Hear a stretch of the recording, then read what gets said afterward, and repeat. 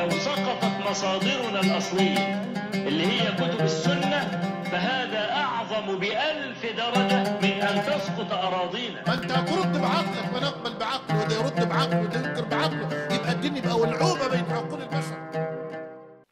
برحب بيكم أعزائي المشاهدين في حلقة جديدة من حلقات النقل أم العقل. وعنوان حلقتنا النهاردة رعب الشيخ الأزهر من المذاهب الأخرى.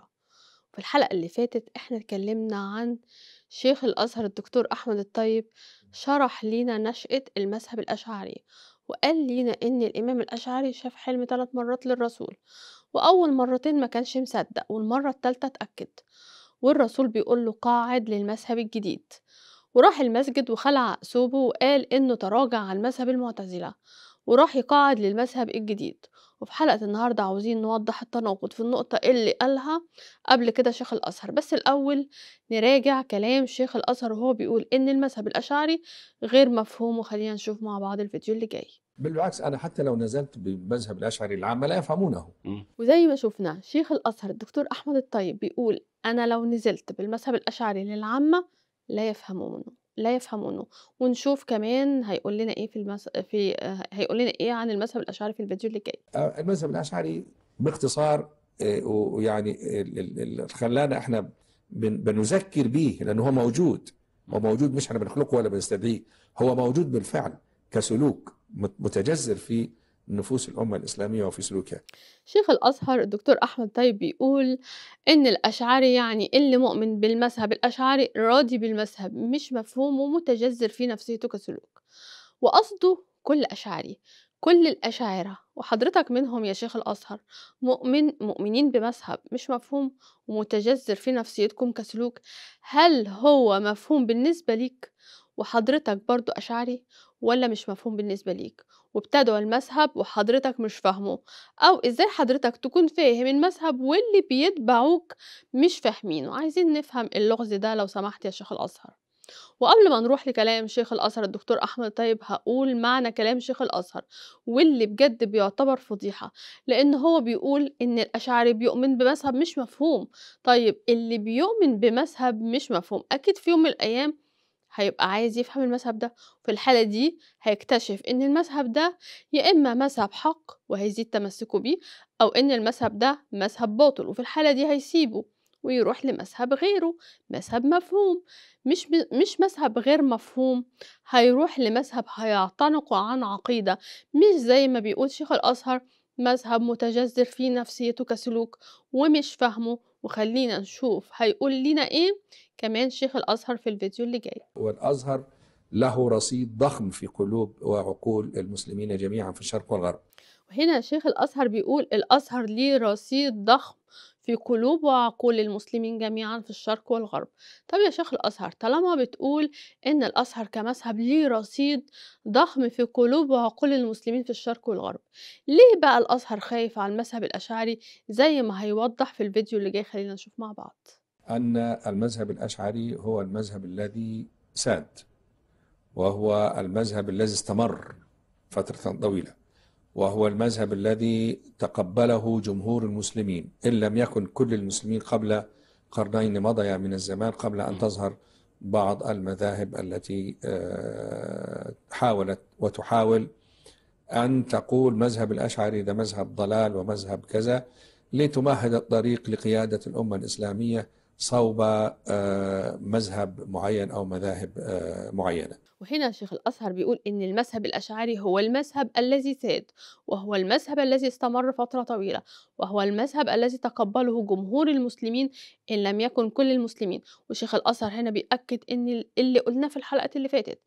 لكن في حاجة جديدة قالها قال قبل قرنين ماضية من الزمان قبل أن تظهر بعض المذاهب التي حاولت وتحاول أن تقول مذهب الأشعري ده مذهب ضلال ومذهب كذا لتمهد الطريق لقيادة الأمة, الإسلامية صوب مذهب معين أو مذاهب معينة. يعني مذهب الأشعري كان هو المذهب الوحيد لكن المسلمين آه، لكل المسلمين بس قبل قرنين في مذاهب ظهرت وبدأت تقول إن الأشعري ده إنسان ضال ومذهبه مذهب ضلال وبالطريقة دي الناس اللي هم كل المسلمين اللي راضيين بمذهب مش مفهوم ومتجذر في نفسيتهم كسلوك هتسيب المذهب الأشعري وهتروح لمذهب مضاد لمذهب آه، مضاد للمذهب الأشعري. طيب ليه هتروح المس... هت... هتسيب المذهب الأشعري وتروح لمذهب مضاد؟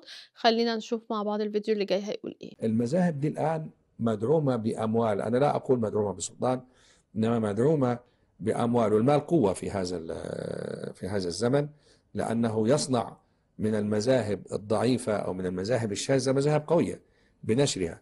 بينما المذهب اللي هو تعود عليه المسلمون وهنا الشيخ الأزهر بيقول المذاهب دي مدعومة بأموال مش مدعومة بسلطان والمال قوة لأنه بيعمل من المذاهب الضعيفة أو الشاذة مذاهب قوية وينشرها. المشكلة عند الشيخ الأزهر إن المذاهب دي مدعومة بأموال لتحارب المذهب الأشعري وهنا في سؤال مهم للشيخ الأزهر لو كانت المذاهب دي شاذة وضعيفة أنتوا كأزهر خايفين ليه؟